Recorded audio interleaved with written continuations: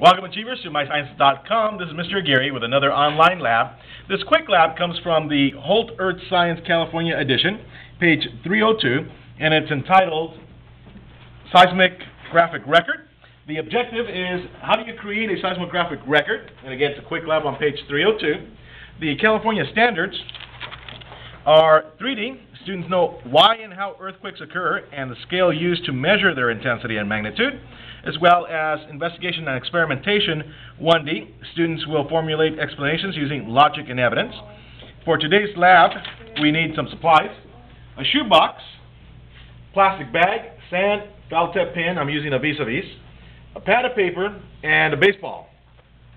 What you do is you take, uh, you can do this in several different ways for different extensions, but you take a sheet of paper, uh, sorry, a plastic bag, and you put sand in it, and you put the sand inside of the uh, shoebox.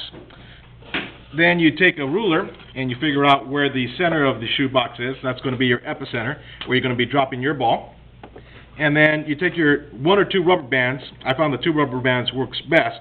And you put a vis-a-vis in here. Let me go ahead and take the tip off. And with your pad of paper, it works best if there's two people doing the experiment. You're going to be moving the paper across the vis-a-vis, and then you're going to be dropping the ball. And as you can tell, we have some seismic waves.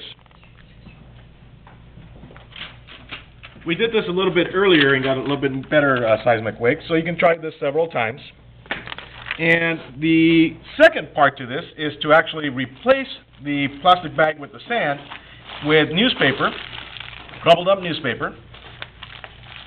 And the questions, the analysis is, what do the lines on the paper represent? So that would be this paper. What do the sand and newspaper represent? Question three of the analysis. Compare the lines made in steps four through six with those made in step eight.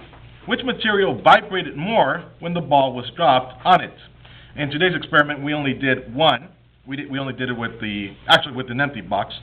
Explain why one material might vibrate more than the other.